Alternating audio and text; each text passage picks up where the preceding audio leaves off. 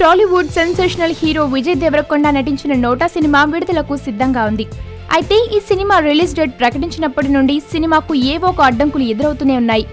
ఈ సినిమాలో సన్నివేశాలు టీఆర్ఎస్ పార్టీకి అనుకూలంగా మిగిలిన పార్టీలను దూషించే విధంగా ఉన్నాయంటూ వార్తలు వచ్చాయి. అయితే అలా ఒక వర్గానికి ఫేవర్గా ఈ సినిమా ఉండదని విజయ్ దేవరకొండ క్లారిటీ ఇచ్చాడు. ఇప్పటికే కేతిరెడ్డి జగదీశ్వర్ రెడ్డి ఈ సినిమా విడుదల ఆపాలని ఎలక్షన్ కమిషన్ అధికారి రజత్ కుమార్ను కలిశాడు. తాజాగా ఓయూజేఏసీ నేత కైలాస్ బుధవారం హైకోర్టులో పిటిషన్ దాఖలు చేశారు. నోటా అనే పదాన్ని టైటిల్గా పెట్టే ముందు ఎన్నికల సంఘం అనుమతి తప్పనిసరిగా తీసుకోవాలని హైకోర్టుకు తెలిపారు. తెలంగాణ ఎన్నికల కోడ్ అమలులో ఉన్నందున ఎలక్షన్ కమిషన్ సినిమా చూసి అభ్యంతరకర సన్నివేశాలు ఉంటే తొలగించిన తరువాతే సినిమా విడుదలకు అనుమతి ఇవ్వాలని కోరారు. మరి ఈ పిటిషన్ సినిమా విడుదలపై ఎలాంటి ప్రభావం చూపుతుందో చూడాలి.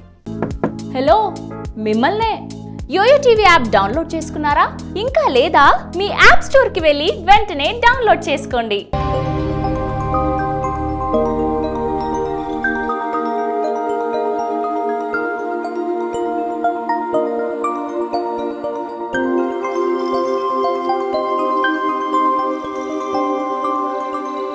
ఈ వీడియో గనుక మీకు నచ్చినట్లయితే లైక్ చేయండి.